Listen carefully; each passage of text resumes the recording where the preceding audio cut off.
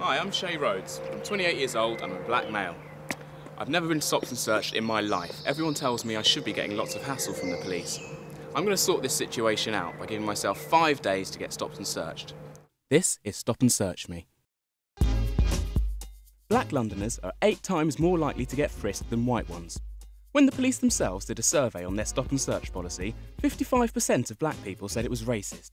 So I should be finding this really easy. But I wasn't. I tried to find out what I needed to do. Maybe you're not, you don't fit into the box of the stereotypical views of young black kids. main thing I would say is your parents, innit? Obviously, you don't look like the type that will carry a gun or a knife or a, a bit of weed or a bit of drugs. You get what I'm saying? Like, Really? Well, they weren't very helpful. I tried hanging around in all the places I'd seen black people getting searched before. My cameraman Frank followed at a safe distance, but nothing happened. I was starting to wonder if this sort of thing actually goes on. The next day, me and Frank went out in the evening, because we'd heard the police only harass people at night. We were right. The police were everywhere on foot, in cars, in vans, on bikes. Really, bikes. It was all a bit scary. I needed to find some people with experience who could help me. These look like the chaps for the job. When, when was the last time, so you got stopped and searched? I got stopped two nights ago. CID rolled on me, didn't ask me any questions, just threw me into the bushes basically. they see me and honestly like I've been told I have an identity crisis by the police because I'm rolling with black people in it. I've got hay fever, so I carry a lot of tissue with me. They're dashing the tissue on the floor. I'm saying like, what are you doing? I've got like hay fever. I need that. They're saying, well, when we finish, you can pick it up like I'm some animal. I had, yeah, I had two squirtings of weed. Well, that time was in plus. Yeah, I paused one. Luckily, they never got that, and they got the other one, which was in my pocket. So basically, I've decided it's time to do something about that. I'll give myself five days to try and get stopped and searched. Wait, you need to lower them trousers. No, they're low enough, man. Uh, a lower bit enough. lower, a bit lower. For a hood on, Yeah, maybe get a a, a little bandana around your face. Trust. Yeah, well, you should get stopped. That. Yeah, that's all you need, a belly. Where's the hot spots? Where, where You're right on here, right, right here. here. Just Just have look for the ro- cycle roller zoo on the road. Just Stand here with some weed. Today was quite a good day. Uh, yeah, met some really nice boys. They took me out, showed me around, um, showed me what to wear, where to hang out, that kind of thing.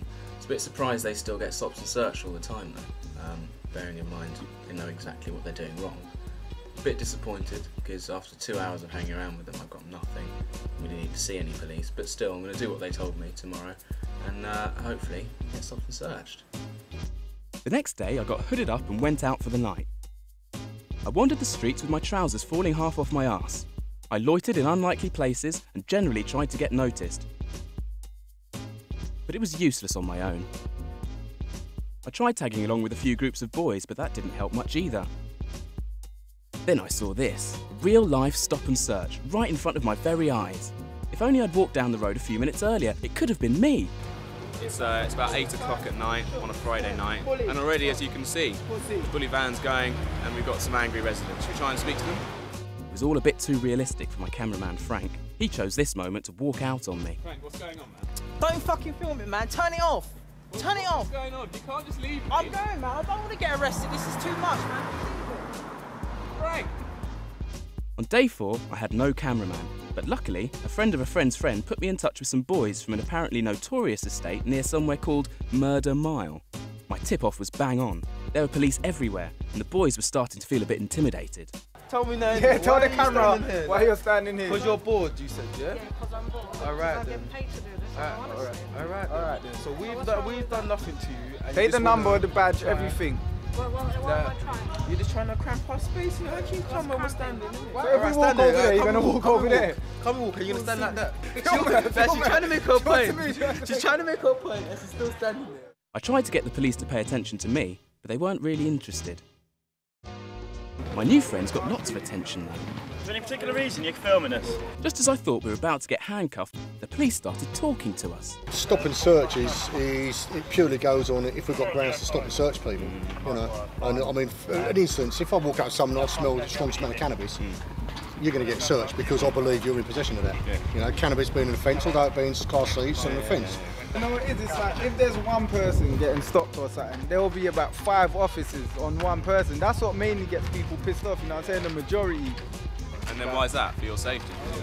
Um, if it can be justified, then obviously yes, it's not it's not a problem there. Um, five on one. I mean, if the guy's a big, you know big fellow and he's packing packing something, yeah, there's going to be five. There's going to be ten. I've never been stopped and searched in my life. Yeah. Why is that?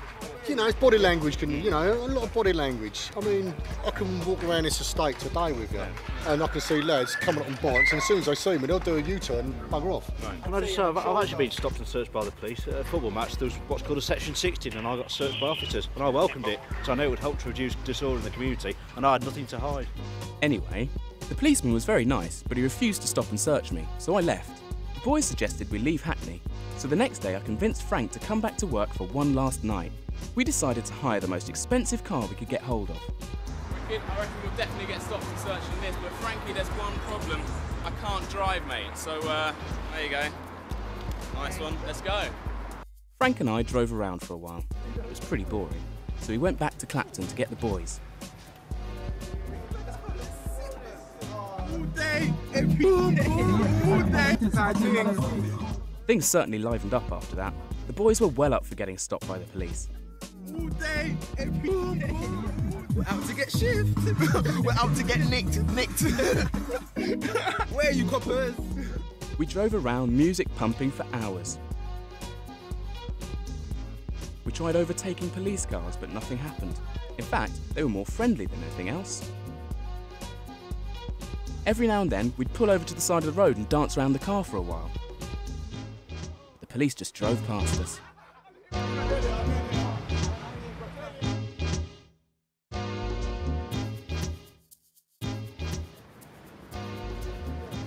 You got nothing better to do. The boys resorted to taunting the police, Hello, hello, hello. and eventually they took the bait.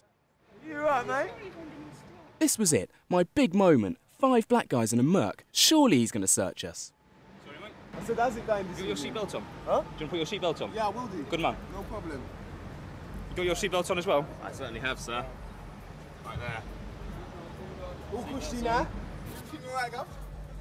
I was like, "Damn, my God." He put you in the face. and that was it. I hadn't managed to get stopped and searched, so the next day I went to find my new friends to see if they could explain what had gone wrong. I reckon you never got stopped because we was looking out for them, innit? When you're going out for them, you won't get stopped, innit? You try and act like you're not doing nothing wrong, Jody, if you know what I mean. You try and act normal. That's when they're thinking, hello, hello. Yeah, it's not just about being black either because I get stopped the same amount of time as other people get stopped. You get me? You have to be doing your own thing, and then that's when they come to you, basically, or if you're doing a crime, innit?